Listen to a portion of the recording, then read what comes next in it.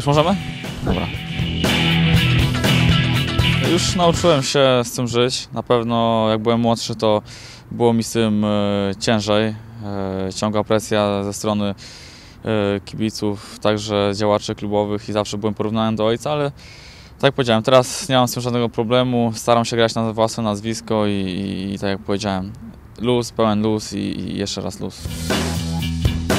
Mój wymarzony klub, e, jak na pewno słyszałeś, e, od praktycznie 7-8 roku życia jestem kibicem Manchester United i do tej pory jestem e, ich kibicem, także chciałbym kiedyś zagrać dla Czerwonych Diabłów. Są to marzenia, ale, ale warto marzyć, aby stać się coraz lepszym piłkarzem. Każdy zachwyca się na pewno Leo Messi, także nie będę oryginalny, jeżeli powiem, że chciałbym zagrać właśnie z tym piłkarzem. Także jak nie w jednej drużynie, to mam nadzieję, że kiedyś mi się uda zagrać przeciwko niemu. Yy, Także również to jest moje wielkie marzenie i na pewno chciałbym zagrać przeciwko Leo Messiemu. Moim idolem w młodości był mój tata, dopóki z tego nie wyrosłem. Yy, Starałem się wzorować na tacie, zawsze chciałem być taki jak on.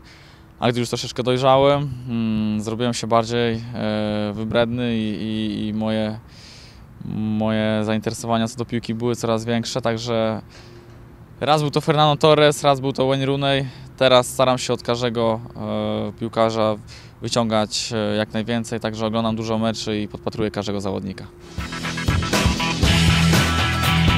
Słucham praktycznie każdej muzyki. Yy, Staram się dzięki muzyce motywować do, do ciężkiej pracy. Zawsze przed meczem, gdy wyjeżdżamy, to słucham muzyki.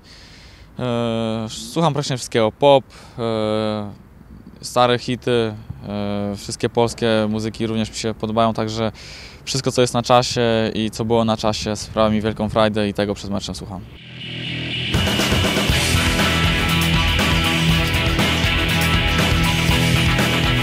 Dzięki za pytania, mam nadzieję, że niedługo zobaczymy się na boisku.